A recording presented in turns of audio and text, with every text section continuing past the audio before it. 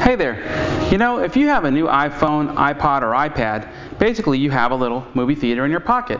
That's right. See this movie playing behind me, 2012? It's playing right now through my iPhone, connected to the back of the TV with this cable.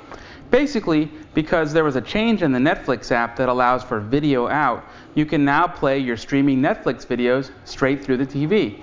But Netflix isn't the only way you can do this. There's another way too, and if you want to learn more, stick around.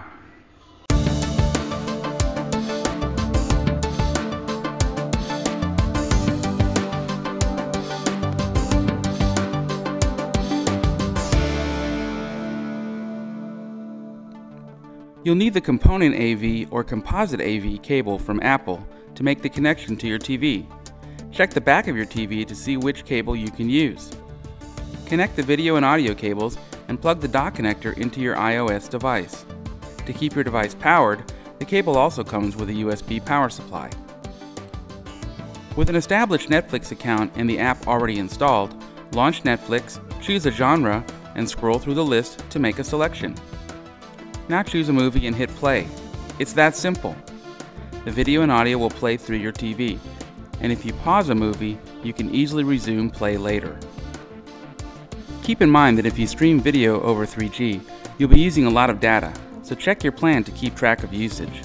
When using Netflix over a Wi-Fi network, however, 3G data charges don't apply. If you don't have a Netflix account, there's another way you can watch video on your TV using your iPhone, iPod, or iPad. Using an app called AirVideo, you can convert your DVD collection to MPEG files, store them on your computer, then access them with your various devices over 3G or Wi-Fi. To use AirVideo, you have to download and set up the free server software available for Mac and Windows.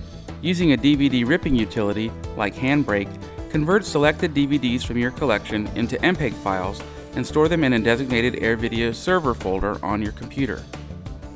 Then pair your iOS device with the AirVideo server while on your home Wi-Fi network.